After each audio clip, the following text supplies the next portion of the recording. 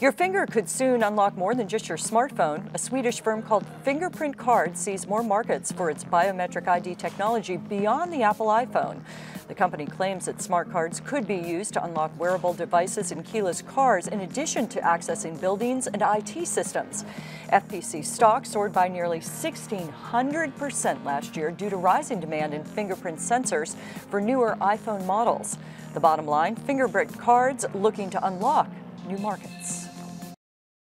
Hey CNBC fans, thanks for checking out our YouTube channel. Here you're going to find videos packed with all of the information that you need to be smarter about your finances. You can subscribe by clicking right here and click on all the videos around me or the eye right here to watch the latest from CNBC. Thanks for watching.